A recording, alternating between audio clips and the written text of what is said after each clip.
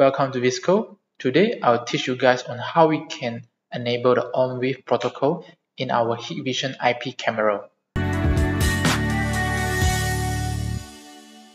So let us start. We need to open our SADP tool so we can detect our Hikvision device.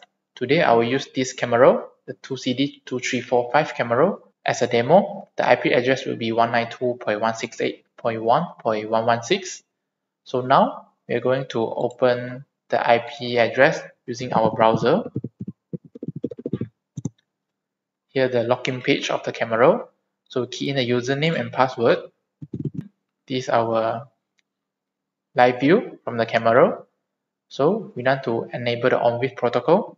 So we can go to the configurations. We'll go to the network. Network, we choose the advanced settings and go to the integration protocol. So over here, we can enable the ONVIF and we can add the username, create a username and password for the ONVIF account. So here we create a username. Then go to a password.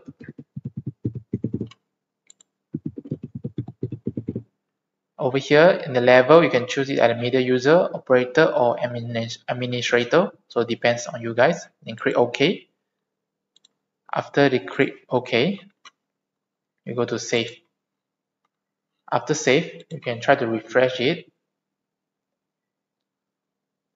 Okay, so now we already done.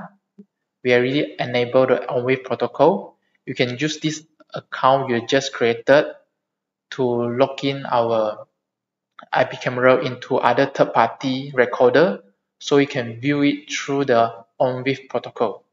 So if you guys are interested in our products or if you guys are really want to know more about this, if you guys like our video, please share and subscribe our YouTube channel.